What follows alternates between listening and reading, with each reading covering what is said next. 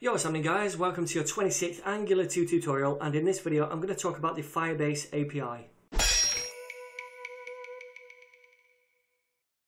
Okay, so in the last tutorial we hooked our application up to Firebase but all we did is use the Firebase endpoint for our data right here and we used that to retrieve the data.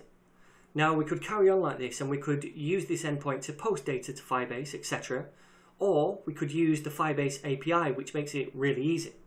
So in this tutorial, I'm going to show you how we can use that Firebase API to get data and also post data to our database. Okay, so in your console, what you want to do is head over to this home link, and then when you're there, click on this add Firebase to your web app icon. So if you click that, it's going to tell you how to add Firebase to your web application.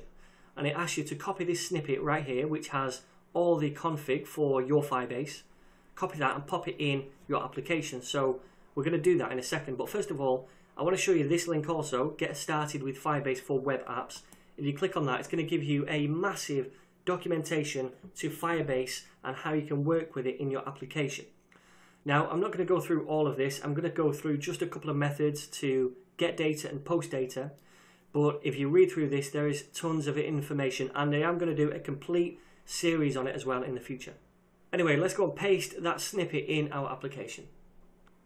Okay, so the first thing we want to do is head to our index page, which is down here. This is where we're going to paste that JavaScript snippet. So I'm just going to come above the closing body tag and paste it right there. Just going to scoot it in a little bit as well.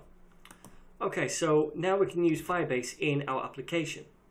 So in this tutorial, I'm not going to put the Firebase hookup in this service right here. Although in a real world application I would do, I'd keep it all in a service, but I'm just, for simplicity, going to keep it away from the other service that we've created and I'm just going to keep it all in this directory component. So what I want to do is first of all retrieve the data from Firebase using the API. Now in order to use the API first of all we have to declare a Firebase variable so I'm going to do that at the top right here and to do that I'll say declare var firebase and this is going to be of type any. So we have to do that before we use Firebase in this component. So let's save it now and come down here and create a new method which is going to go out and grab data using the Firebase API.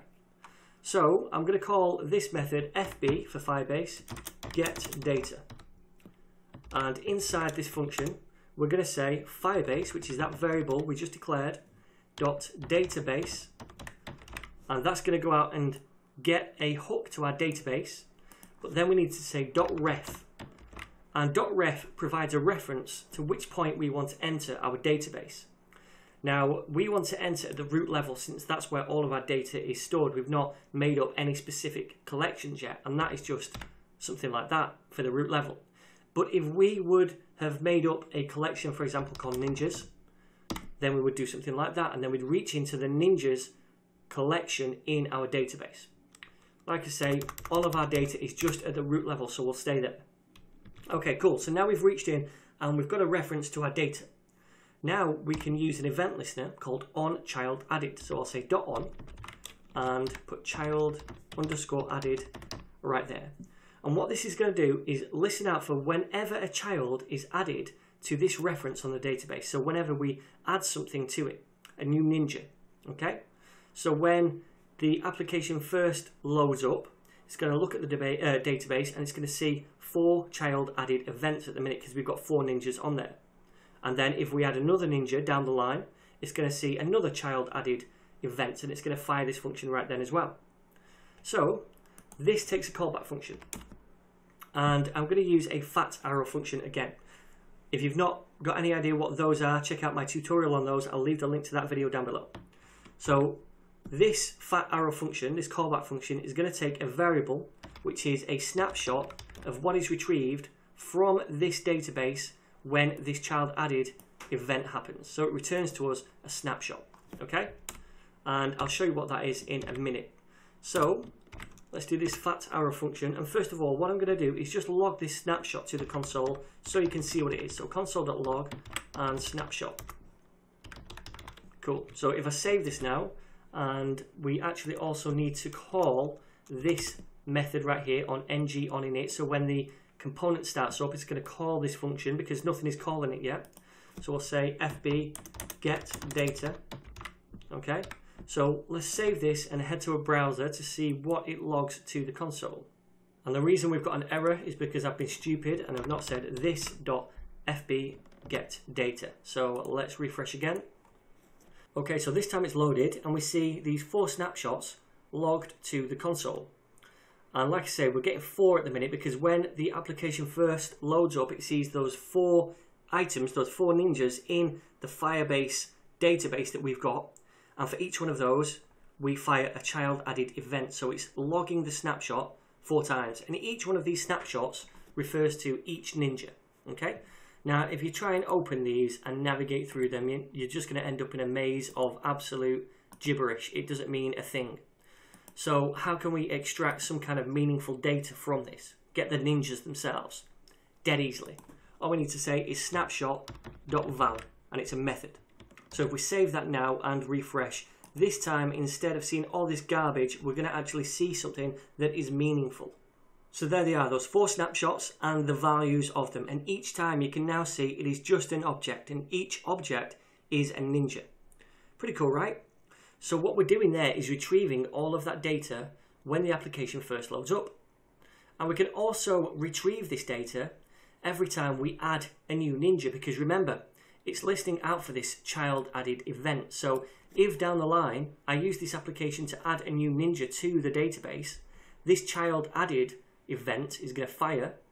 This callback function is going to retrieve a snapshot of the child that was added and we're going to retrieve that object back. So then we can add it to this application right here. So instead of logging them to the console right now, why don't we add them to the application? So I'll delete that. And what I want to do is now say this dot ninjas, which is referring to this thing right here, up here. And I'll say this dot ninjas dot push. This is a JavaScript method because we're going to push an object to the ninjas array. So dot push, and we're going to say snapshot dot val, like so, and that is just that ninja which was added. Okay, so if we save this now, then we want to also comment out this because we don't want this to fetch this data anymore. So we'll comment out that. Save this again and head to a browser Going to get rid of that console. And now what we're doing is we're grabbing that data from Firebase and each time we get a snapshot, we're adding that snapshot to this Ninjas array at the top. Okay? So we're adding four in total. And then we're outputting those Ninjas to this application right here. Pretty cool, right? So that is how we get data from Firebase using the Firebase API. I also want to show you how to post data, but for that we're going to have to create a form on this application itself. So I'm going to do that in the next tutorial because we're approaching about 10 minutes now and I don't want to make these too long.